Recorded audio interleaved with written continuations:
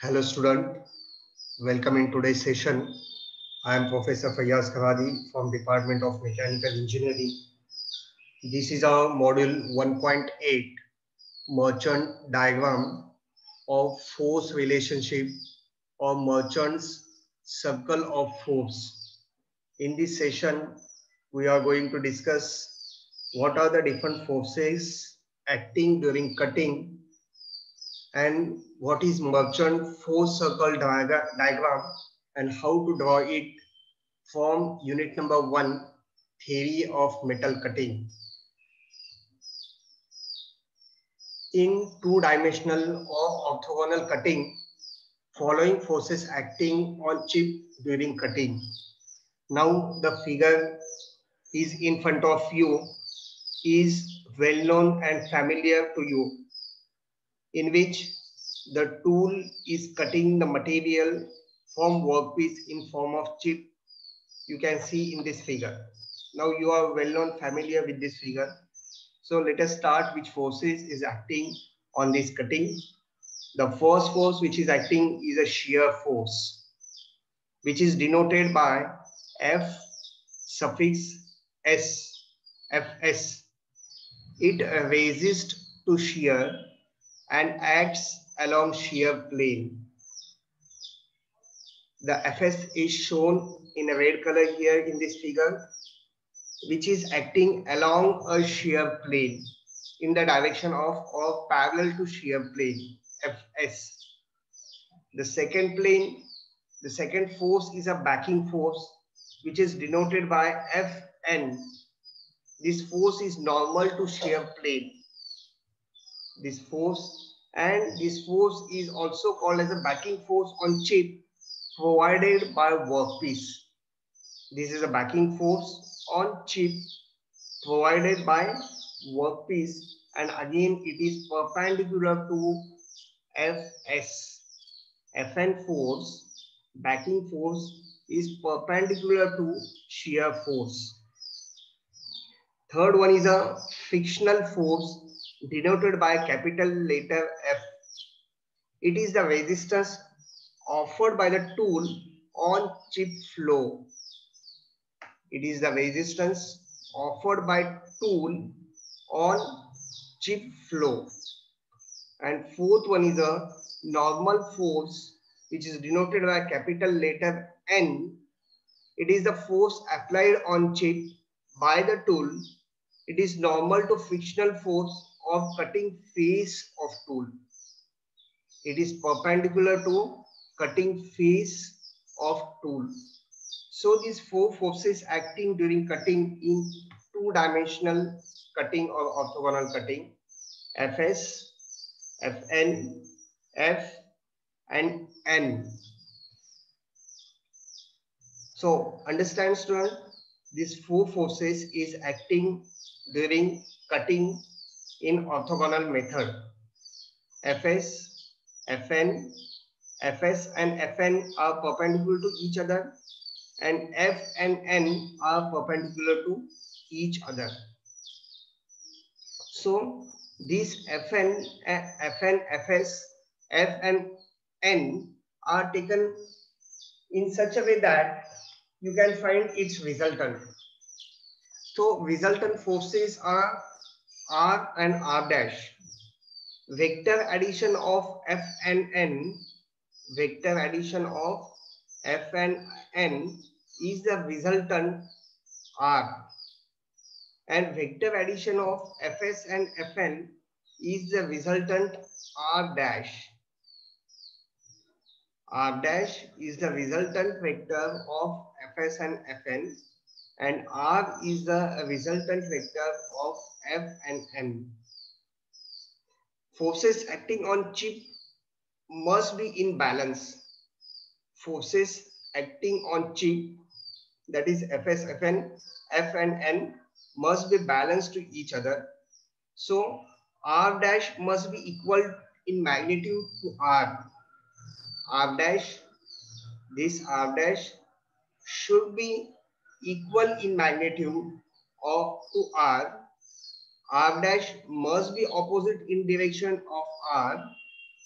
R dash must be opposite in direction to R and R dash must be collinear with R. These are the conditions for balancing. R dash and R should be equal in magnitude, opposite in direction and should be collinear. Now, these forces acting in machining are dynamic in nature. That means the magnitude of all these forces is goes on changing with respect to time. This is nothing but dynamic in nature. Hence, it is difficult to measure as the nature of these forces is dynamic.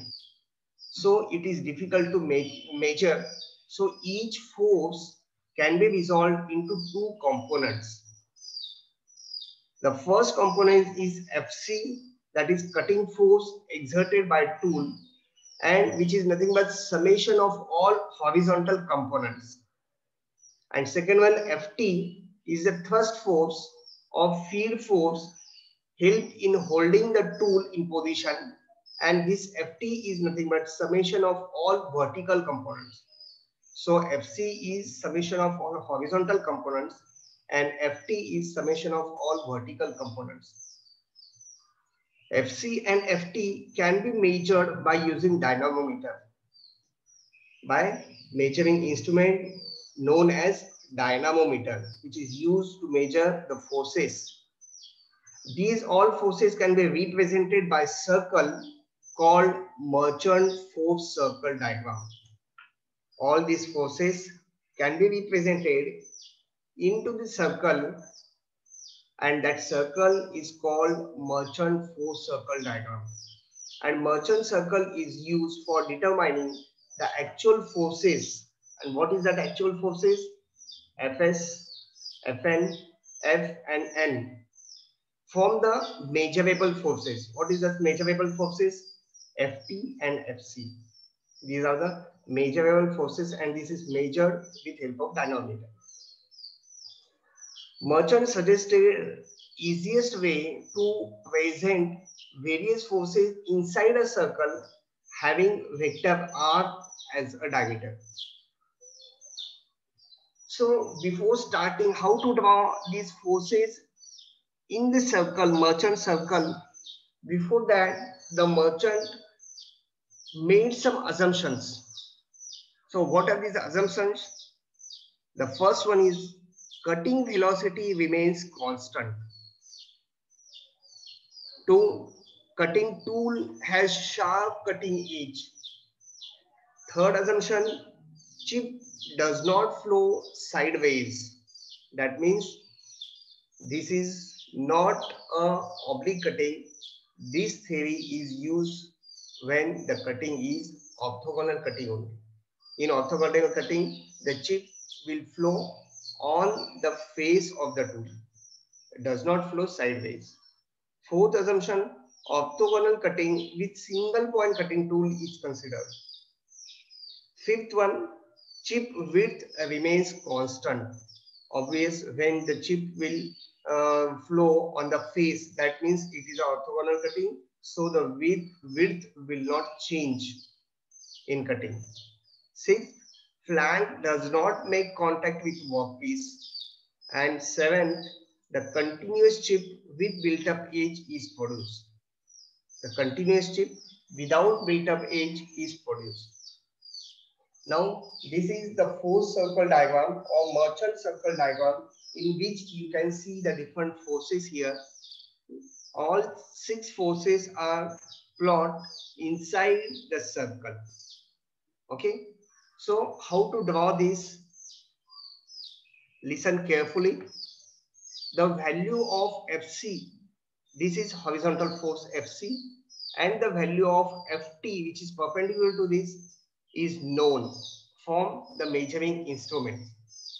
Okay, this is the tool. From that tool point, this is the nose. From that cutting point or from this nose, I will start, I will start drawing all the forces. By taking suitable scale, I am taking here 100 Newton is equal to 1 centimeter. 100 Newton is equal to 1 centimeter. By taking this suitable scale, I will draw the force Fc, cutting force from that single point cutting tool. This is the cutting point of this of the of this tool. So I draw the horizontal line, horizontal line by taking 100 Newton is equal to 1 centimeter. I will draw the FC force. FC. Okay. If um, that uh, FC is 400 Newton, so I will draw here the line of 4 centimeter. 4 centimeter. So from this end point of this FC line, I will draw the FT force which is perpendicular to that FC line, that is horizontal line. Horizon from this horizontal line, I will draw the perpendicular line which is FT and the magnitude of that FT I know from the dynamometer. So I will draw the vertical line, vertical line by taking this scale. Okay. Now from that end point, from that end point, I will join this line to form the triangle, which is a resultant of FC and FT. Okay. I will join this R, R, which is third side of the triangle made by FC and FT. Also, this R is the resultant of FC and FT. Okay. Now, this R is a diameter of merchant circle. So what I do here, I have bisect this R and I will find the midpoint of this R and by putting the one point of this compass, I will draw the circle. By taking midpoint as a radius of the circle and this distance as a radius, I will draw the circle. Okay, so that intersection point of FC and FT will lie on the circle and this will be a right angle triangle. Okay. Now the next stage, the shear plane angle is known. Shear plane angle value of phi is known. So from this point, I will measure that phi and draw the Fs force, shear force okay? And where it intersects that circle i will mark that point and from this point to this perpendicular to this fs force i will draw the perpendicular line and that will be fn that force will be fn okay? And where it intersects that intersection intersect uh, that fn to that circle this will be the magnitude of Fn. So I will find, uh, find here the magnitude of Fs and Fn where it intersect the merchant circle. Okay. And obvious R is again the resultant of Fs and Fn. And this intersection point you will get again on this circle. Again, this is a right angle triangle. Now the third stage to draw F and M, F and N. Next two forces. I know the alpha angle, which is a rake angle of tool. From this vertical line, I draw this construction vertical line to draw the alpha angle here. When this alpha, so opposite angle will be again this alpha. Okay, so by taking this angle, alpha is known. By taking this angle, alpha, I will draw the line which is intersecting to that merchant circle. Where it intersects, that will become your force F. That will become your force F. And where it intersects that line, through that point, I will draw perpendicular to perpendicular line to F, where it intersects that line, that will be again the that will again the magnitude of force N, which is normal force to F. Again, it will intersect at same point, which is nothing but a resultant line, and R will become here again resultant of F and N or you can say R will become the third side of this right angle triangle made by F and N. So in this way, you can draw the all the forces Fs, Fn, Fc, Ft, F and N prescribed inside the circle. So this circle is called merchant circle to find out uh, the different forces to find out the magnitude of Fs, Fn, F and N having the resultant R. So student, uh, I expect that you uh, understood how to draw all the forces inside the circle.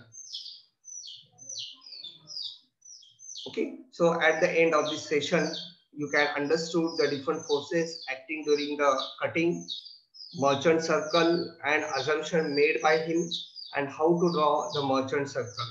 So thank you for watching this video.